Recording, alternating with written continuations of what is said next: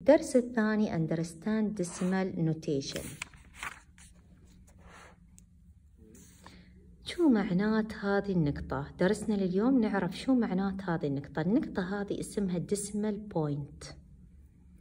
لما يكون عندنا المربع كامل ملون فهذا 1 لما يكون عندنا 1 over 10 هذه معناته 0.1 لاحظوا إن من بعد ال point في رقم واحد فمعناته ال fraction راح يكون تحته 1 zero وكيف أكتب؟ أكتب 0.1 وهذه ال1 موجودة في ال tenths فمعناته ال denominator راح يكون 10 1 over 100 معناته 0.01 ليش يا miss حطينا zero لأن هني عندنا صفرين لازم يكون رقمين.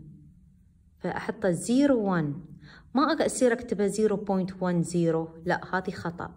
نكتب 01 لأن هني ملونة بس حبة واحدة. وهذه الوان وين مكانها؟ راح يكون مكانها في الهندرث. وليس في التنث. زيرو بعدين تنث بعدين هندرث. السؤال الأول عندنا 1 7 10 وعندنا 1 56 over 100 المطلوب أن نكتبها as decimal. ف 1 7 10 1 أكتب أول شيء 1 point عندنا 7 over 10 نكتبها 7 نلاحظ أن من بعد ال point عندنا رقم واحد لأن أصلا zero واحد. 1 حطينا 1 point 56 56 لاحظ كتبت رقمين لأن ال denominator عندنا صفرين. لازم يكون رقمين. ولأن أصلا البسط هني ال numerator رقمين. هني المطلوب منا نكتبها as fraction و as decimal. ففي البداية عد كم هذه؟ هذه 10 20 وهذه سبع حبات. فهي أصلا 27 over 100 هاي كلها المربعات الصغيرة 100 كيف أكتبها as decimal 0.27 ليش يا مس حطيتي زيرو في البداية؟ هل عندي هني بسكوتة كاملة ملونة؟ يعني بسكوتة كاملة ملونة؟ لا ما عندي. فحطيت zero 0.27 27 حبة بس الملونة. في هذا السؤال عندنا بسكوتة كاملة ملونة. فكتبنا 1 1 point. هني كم حبة ملونة؟ 9 pieces 1.9 كيف نكتبها as fraction 1 و 9 over 10 نلاحظ إن من بعد ال point عندنا رقم واحد فمعناته ال denominator راح يكون في 1 0 only. هني بسكوتة كاملة ملونة كتبنا 1 في هذه البسكوتة كم حبة ملونة؟ ملونة 55.55 كيف نكتبها fraction 1 55 over 100 هني كم بسكوتة ملونة؟ بسكوتين ملونات فنكتب 2 point.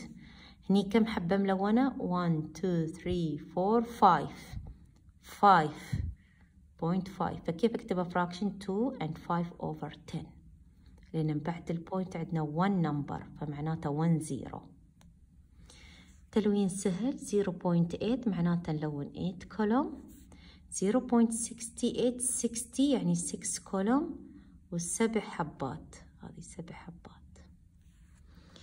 هني 9 over 100 كيف أكتبها ال decimal نكتبها 0.09 لازم يكون 2 number لأن هني عندنا 2 0 0.9 نكتبها 9 over 10 0.6 أكتبها 6 over 10 هني 1.04 انتبهوا لهذه 04 معناته الدومينيتر لازم يكون 100 رقمي زي صفرين. فبيكون 1 و 4 over 100 عاطينا ال fraction وطالب مننا نكتبها as a decimal. ف 3 over 10 هي عبارة عن 0.3 0 لأنه ما عندي هني whole number فحطيت 0 و 3 هني.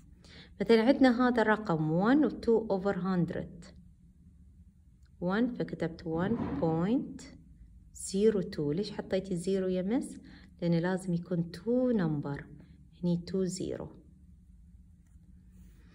Which following of the pair equivalent number? أي وحدة فيهم الصحيحة correct نختار بس الصحيحة. فلو شيكنا كلهم راح يطلعوا كلهم خطأ. هي هذه الوحيدة الصحيحة اللي هي 0.9 هي أصلا 9 over 10